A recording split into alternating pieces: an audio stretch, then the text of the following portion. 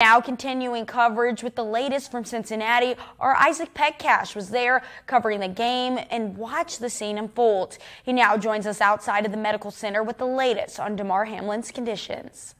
Well, good afternoon. Obviously, as we continue here into the noon hour, still awaiting more updates on the health of Damar Hamlin here outside the UC Medical Center throughout the day yesterday and into the morning today. Hamlin still in critical condition and updates have been coming in a slow trickle. We talked about this yesterday that really only two updates were issued, one by the Buffalo Bills talking about how Hamlin was admitted to the ICU both last night and now into this morning, meaning he's getting that intensive care around the clock by doctors and nurses to ensure if anything were to go awry with Hamlin, they are there by his bedside when necessary. So of course today is the day where a lot of people are hoping that the condition gets changed by Hamlin and maybe he moves into stable condition. But again, we're not going to stipulate that. We're not going to presume that.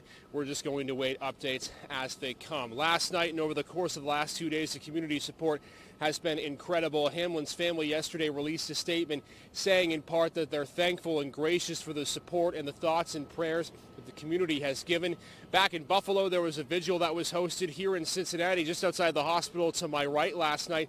About two dozen people showed up for a candlelit vigil for Hamlin as they tried to will him back to full health through their thoughts and through their prayers. Now, as we move throughout the day today, we are going to be departing Cincinnati here. There are, there's other business to attend to when it comes to the NFL season, and unfortunately, the world moves on, but we're not going to move on from this story. As we move throughout the day here on Erie News Now, we're going to be giving you recaps and updates as to everything that's going on. Just because we're not here in Cincinnati doesn't mean that we're going away from covering this story. I'm heading back to the station. I'll be on the first at 4 o'clock newscast and then on one of our early shows. If there are any developments in between then, we'll be certain to let you know.